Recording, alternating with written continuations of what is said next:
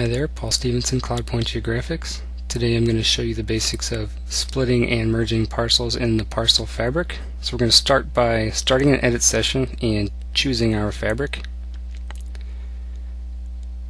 Now the first thing we're going to do is split an existing parcel and we're going to do that by selecting the parcel, doing a right click and choosing to construct from parent which is going to open up my parcel details window.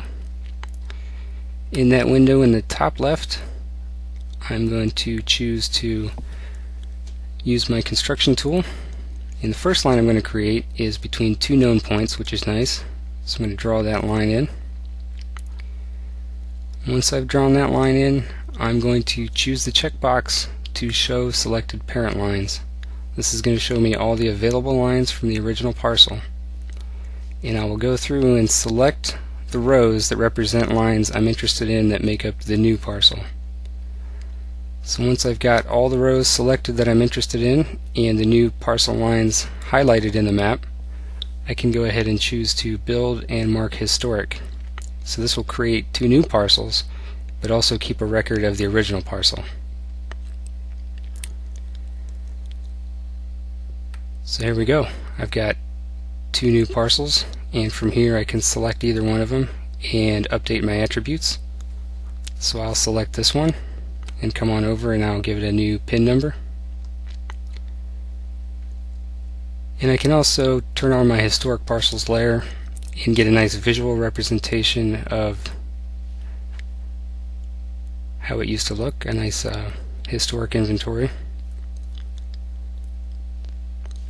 So the next thing I'm going to do is merge a group of contiguous parcels into a new single parcel. To do this I select the parcels I'm interested in and do that by uh, click and shift. Once I've got all the parcels I'm interested in highlighted I can go ahead and right click and choose merge and I'll get a window that kind of shows me the features that are going to be merged and gives me the opportunity to rename that new feature. And I can go ahead and leave the remainder as it is and go ahead and say OK.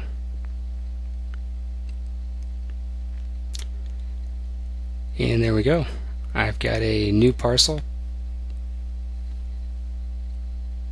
made from those existing parcels I was interested in. So there you have it, a nice easy way to split and merge parcels in the parcel fabric.